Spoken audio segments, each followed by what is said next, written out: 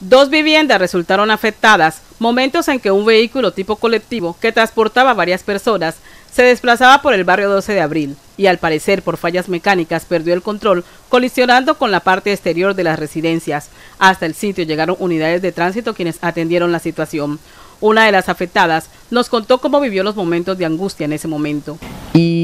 Que no sé si fue que el Señor pues eh, tuvo la habilidad de, cambiar la dirección hacia las casas de nosotros, eh, que no siguió de largo porque seguramente a esta hora estaríamos lamentándonos de un accidente demasiado grave, porque aquí estamos en toda la pendiente, ya para bajar la loma prácticamente de esta calle, entonces eh, de acuerdo a cómo él iba, pues entonces no iba a parar eh, eh, inmediatamente, sino que iba a seguir de largo.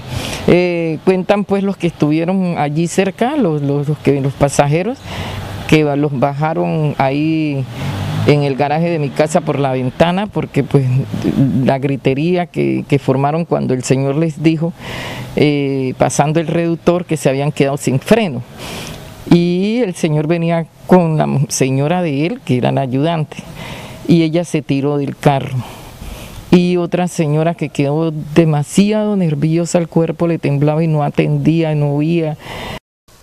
En el hecho, una persona resultó herida, que fue trasladada a un centro asistencial donde recibe atención médica por parte de los galenos. tanto a ella como a la otra señora, el mismo conductor las llevara al médico. La verdad es que hasta esta hora no tenemos como claridad, solo sabemos que la señora se fracturó la clavícula porque también se le salió la llanta trasera del lado derecho y entonces esa llanta cuando ella cae parece que le, le pasó por encima, por alguna parte del cuerpo, que hizo pues que se afectara grave.